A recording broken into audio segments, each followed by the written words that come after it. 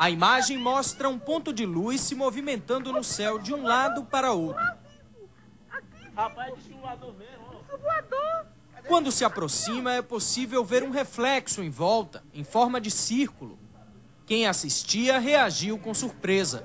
É disco voador, minha filha! Rapaz, disse voador mesmo. Disco voador!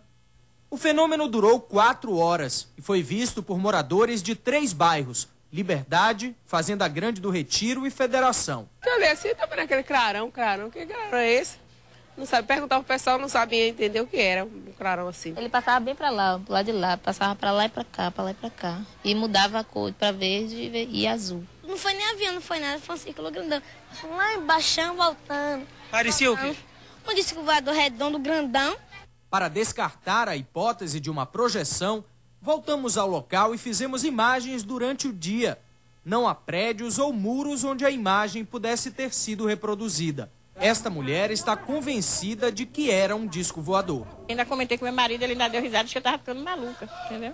Ele achou que não era, mas eu achei que alguma coisa estranha estava acontecendo. Mas nem todo mundo acredita. Eu nunca vi nada na nave de ET, então por isso que não dá nem pra saber o que é. Eu não acredito. Foi a comerciante Lucineide que registrou tudo com o celular. Quando eu filmei, eu tô vendo o disco voador indo voltando. Eu disse, gente, vinha ver, vinha ver, vinha ver, disco voador.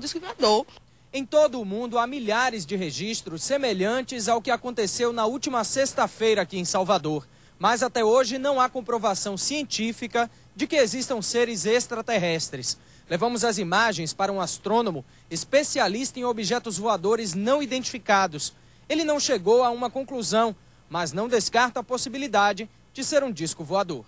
É algo estranho, não tem um comportamento de uma aeronave, não tem um comportamento da entrada de um objeto na atmosfera terrestre como os meteoritos e o lixo espacial. Eu arriscaria dizer que poderia ser algo como um disco voador.